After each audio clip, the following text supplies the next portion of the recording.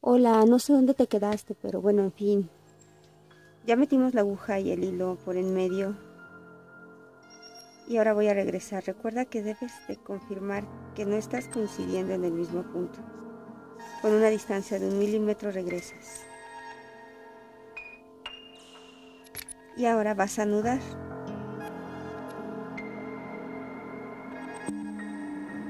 Haciendo fuerza para hundir la tela.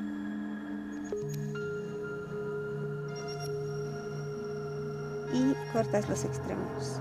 Ya no nos sirve.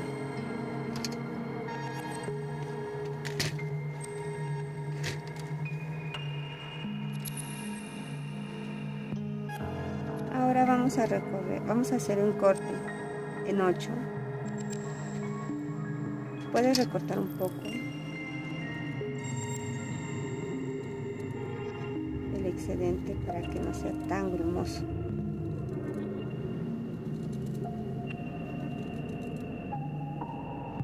Ahora cortamos hacia arriba, hacia arriba, en medio, en medio y en medio de en medio. O sea, de cuarto nos vamos a octavo. 2, 4, 6 y 8.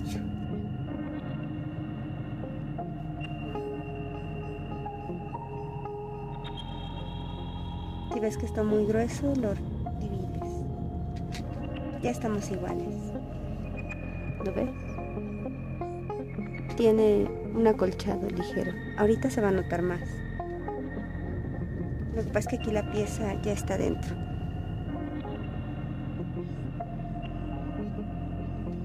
Vamos a tomar nuestro pegamento universal, como lo conozcas. También lo conocen como iris, pero la verdad me gusta más la marca. Y vas a aplicar en todo el contorno y al centro. Una cantidad basta porque ahorita vas a hacer dobleces. Entonces vas a tomar los extremos y los vas a unir.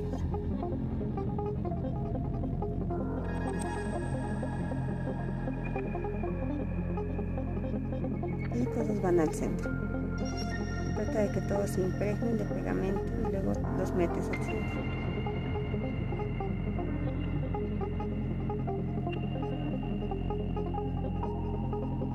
Si hace falta, tienes que volver a aplicar más adhesivo.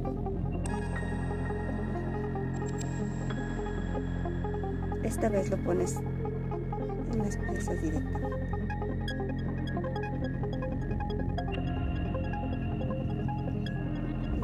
Y metes hacia adentro. Como si forraras un botón.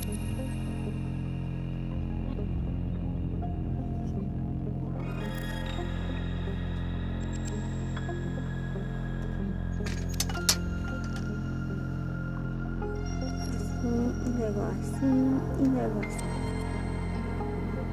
va a quedar una bolita aquí la vista queda de este lado así que atrás puede ser un verdadero cotorreo no pasa nada. Mientras el frente quede bien y tu acolchado permanezca íntegro la pieza está perfecta. Lo volvemos a hacer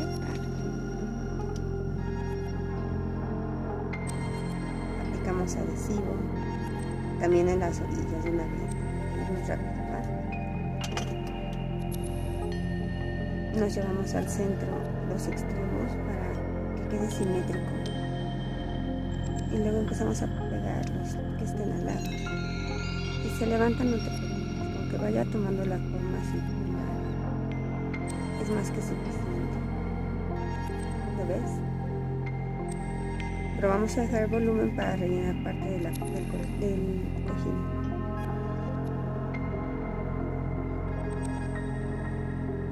presionas bien, si no pega, vuelves a aplicar más adhesivo